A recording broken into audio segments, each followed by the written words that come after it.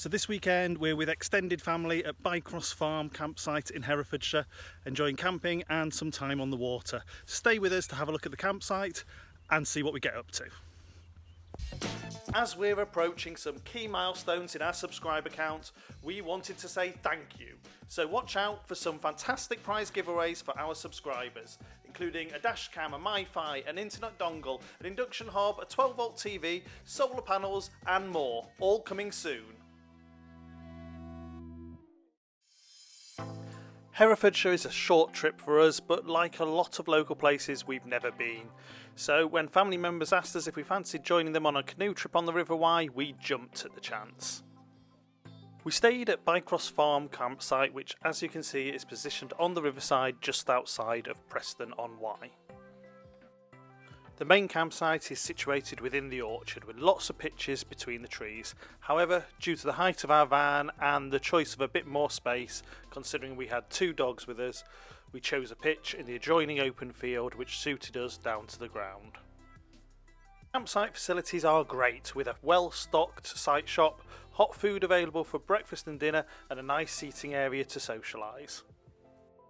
But we'd come to get out on the water, so we had already booked a half day river trip including canoe hire and a shuttle from the campsite entrance to 5 miles upriver. This gave us a nice leisurely paddle with the current back to the campsite.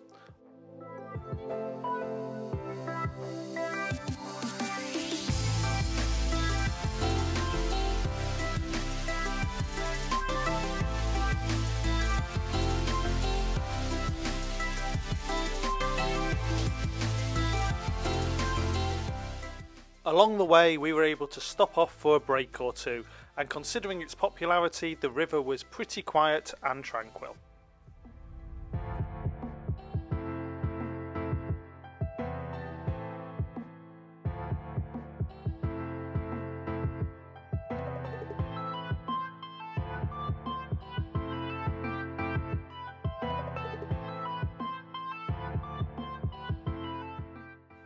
After our paddle, we had food and settled down to a campfire and an evening of outdoor cinema.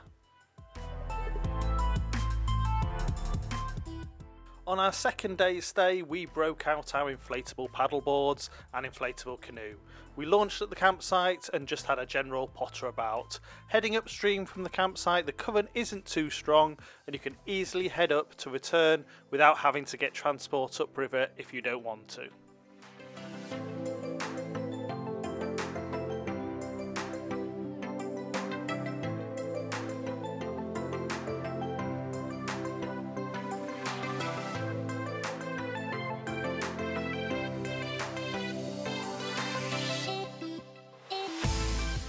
Just downstream from the campsite, the river narrows and the current increases. This produces a set of rapids which the older kids enjoyed playing in.